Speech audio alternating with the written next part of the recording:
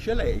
Ma io non lo sto dicendo, glielo sto chiedendo, non è, non è niente si di, seguono, di confermativo. si seguono le leggi domande. dello Stato italiano. Questo è uno Stato, per fortuna, democratico, regolamentato dalle leggi. Però Sgarbi se- almeno si può dire- si può immagino che Ho mandato i documenti all'antitrust e l'antitrust però deve decidere, E deve, Sgarbi- deve dirmi. Sgarbi ha, ri- ha rispettato le leggi, secondo lei o no?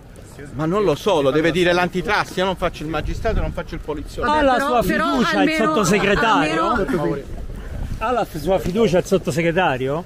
Presidente, Fatto Quotidiano, Sgarbi si deve dimettere dopo le notizie che abbiamo pubblicato? Beh, ho letto le inchieste, insomma, se, se sono corrispondenti non mi sembra assolutamente consentito a nessun membro del governo, ministro o sottosegretario. Quindi sì, sì. Le regole si rispettano rigorosamente. Quindi si deve dimettere. Direi di sì se queste sono le circostanze. Sgarbi si deve dimettere? No, posta così non va bene. Non va bene perché noi abbiamo legittimamente un quotidiano seguito da altri che ha dei documenti delle... su quello è giusto che il diretto interessato che su altri giornali dice che non è così, allora si vedono bene le carte laddove ci fosse, se non un conflitto di interessi, una situazione che non è, come dire, sostenibile. Consentita dalla legge. A quel punto è chiaro che ognuno trae le conseguenze o gli si fanno trarre.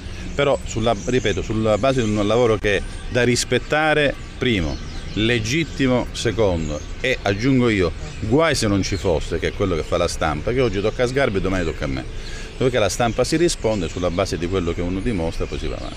Quindi se le circostanze fossero confermate, c'è anche un'indagine del- dell'antitrust in questo momento, eh, e Sgarbi resistesse, tra virgolette, eh, quello quando dice lo si fa, vuol dire Meloni dovrebbe togliere le deleghe, traduco bene? L- Sapete che la nomina dei sottosegretari e del Presidente del Consiglio è della stessa persona che ritira le deleghe.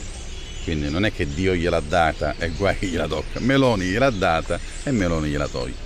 Se vuole, se, se riterrà all'esito di questi accertamenti che le cose sono diverse da come lui dice.